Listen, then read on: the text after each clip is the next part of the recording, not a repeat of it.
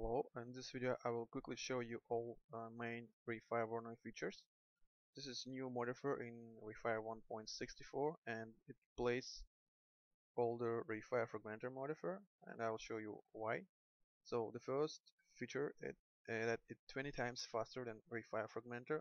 So here is a simple cube and it has 4000 points uh, and uh, RayFire Fragmenter usually takes about 100 seconds to fragment it uh, but Voronoi do it just needs about two three but two or three seconds to generate 4000 fragments for this cube. Next feature is that it support fragmentation of shelled objects. Again here's the results using fragmenter as you can see there's some weird geometry inside. And here's the RayFire Voronoi as you can see it's pretty clean and no artifacts next feature is no smoothing artifacts. So here's again a file fragmenter and as you can see slice stages there are some artifacts here and here. Uh, also there's some weird geometry inside. And again here's the RayFire fragmenter. The cylinder already pre-fragmented and as you can see no artifacts and no weird geometry. Next feature is support for box cylindrical and spherical point clouds. Here you can see point cloud gizmo helper, so you can move it, you can rotate it and scale. And when you have fragment on with interactive button on, you can see that whatever you move it, you get instant result. Also, each of these rollouts has center beast property, which allows you to move uh, points closer to the center. Next feature is radial point cloud. It's pretty simple. Another uh, rollout is properties and it allows you to generate radial fragmentation types. Next feature is support for uh, geometry. Support for geometry, uh, particle sources and shapes as point cloud generators. So all you need to do is just go to this uh, objects sub-object mode and here you can see list with all um, properties. So you can pick any geometry. You can pick several uh, geometries shapes. Here's another one. And particle sources all at once. So if you will start fragment object you'll see that all of them generates point cloud so you can use simultaneously several geometries, shapes and particle sources as point cloud generator. Next feature is custom point cloud. And using custom point cloud this one you can use any of the previous point clouds together. So right now here's the box one. Uh, here I can position it some some place next I can click up onto custom then go to radial uh, let's say spherical one. Move it here. Right click up onto custom go to the radial one. Position it here. Right click up onto custom. Another one I will position here. Right click up onto custom and finally I can go to custom. Here and here you will see that I have all the previous uh, point clouds. Also you can go to custom points subobject mode and in this mode you can select every point and manually re reposition it as you want. You can select all of them, you can select just one and move them as you want. So in this way you can create any kinds of point clouds. Next feature is point cloud filtering. Using point cloud filtering you can uh, filter out some points. So here's my default uh, point cloud. It has pretty uniform point clouds uh, points. So uh, we decrease it.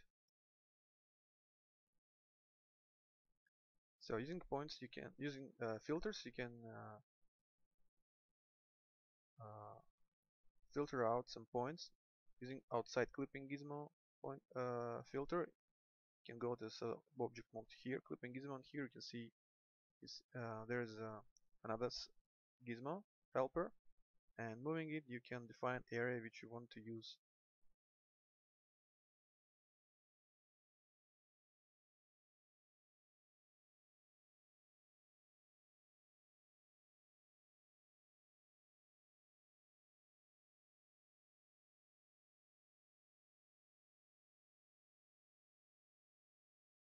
Uh, also you can invert it, so in this case you will use ball points outside of, of the clipping gizmo and all the points inside will be ignored. In the same way you can use noise generator to define the area which you want to use and play with properties like scale or roughness. And again you can invert it. Also you can use a texture map to define area which you want to ignore. In this case I use black and white texture with word Rayfire so again you can invert it. In this case it will use only points which are inside uh, the black area. Okay next feature is glowing by noise. Uh, it uses the same point filters but instead of ignoring you can change here to glue. So in this case it will use noise generator for glue all filtered points. So right now you see that there is a one big red area glued into one big element and another orange area here and the rest of the area is fragmented to pieces. Also you can turn off this uh, vertex color preview.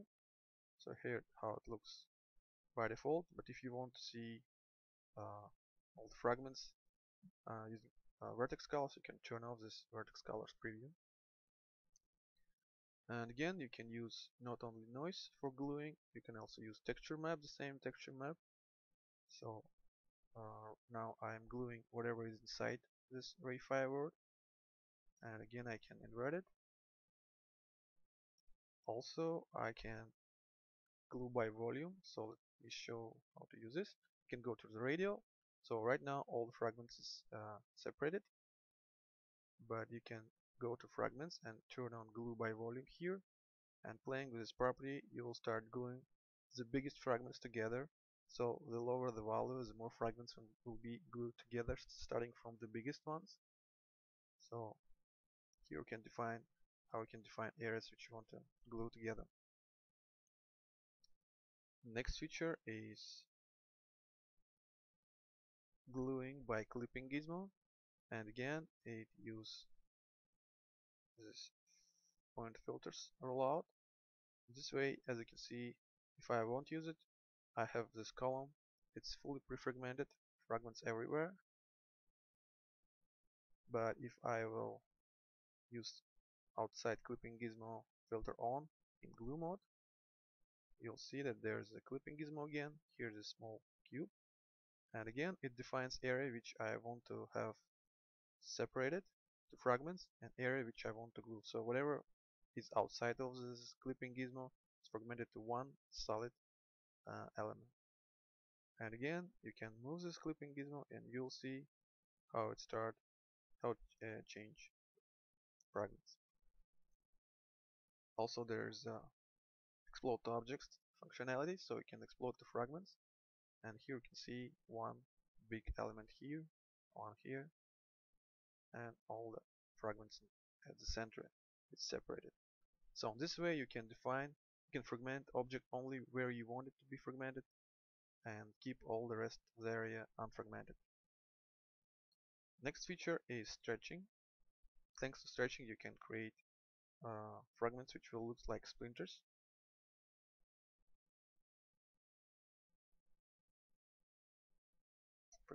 increase let's say 4 uh, 500 and all you need to do is just play increases one of this uh, axis spinner.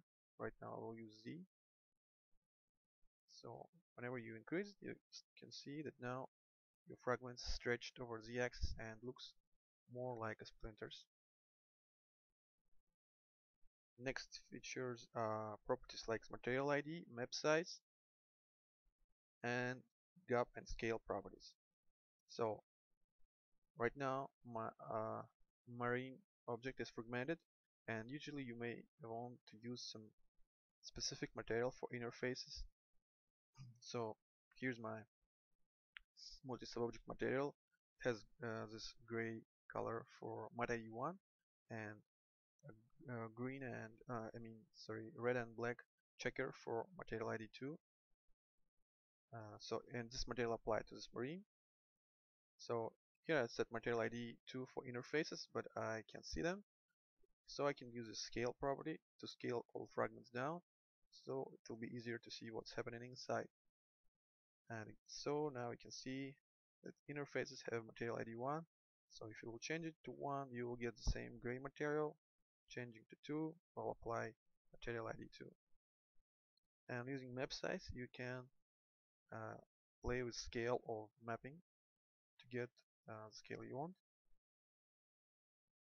As you can see everything is real time uh, and again also you can create gaps between your fragments. It actually refragment all objects so uh, it works a little bit indifferent like it's the scale property so uh, this is all features I want to show you and uh, thank you for watching and thank you for supporting further development. Uh, goodbye